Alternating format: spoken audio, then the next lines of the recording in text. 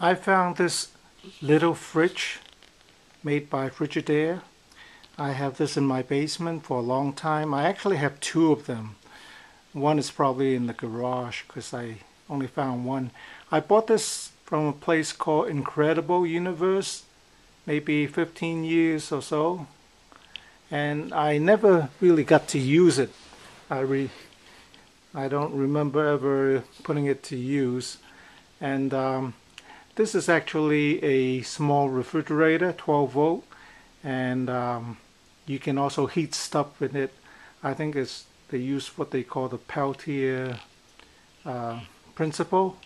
The mechanism is called Peltier. And uh, I have this 12 volt battery here. And how you plug in the adapter determines whether you get to use the heater function or the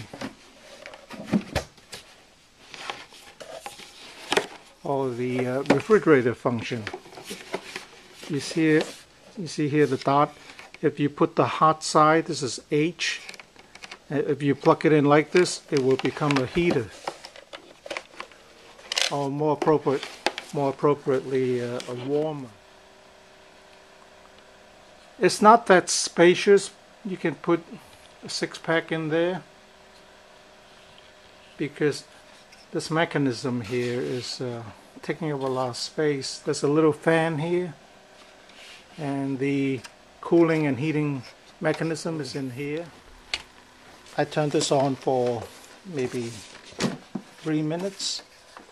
Oh, I can feel the heat. Let's see what the temperature reading is. 87 degrees. It could be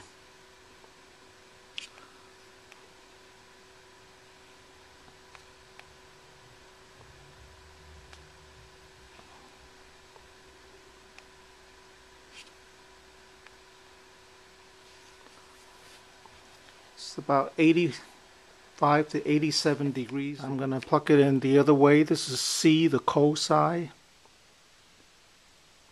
I don't know if I need to wait maybe a little while for it to cool down, but I'll plug it in anyway and see. So the temperature is about 39 to 40 degrees. Actually about 38 degrees now after half an hour.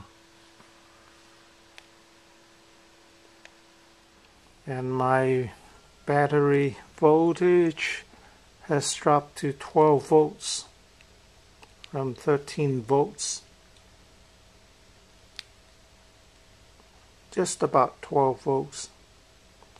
So it lasted less than an hour.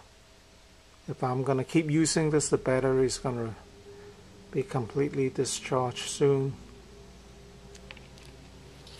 I would have to find a better source of power supply if I were to use this as a refrigerator or as a or as a heater.